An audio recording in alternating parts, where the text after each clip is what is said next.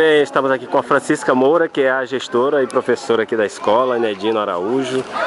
É, hoje a escola, você que viu as duas realidades, como é que está hoje para você? Que, como é que você define hoje a escola Nedino? Hoje é uma grande realização, né, porque a escola, como eu já havia falado em outras oportunidades, que é só existia a estrutura e hoje eu posso dizer que a partir de agora nós temos uma escola digna, né?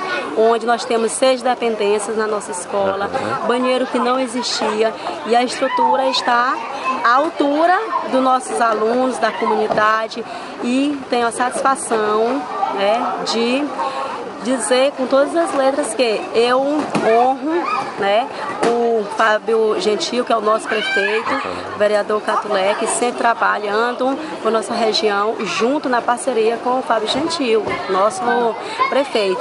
Sem ele não tem como é, a gente trabalhar e ter as nossas realizações, nossas conquistas que nós temos agora.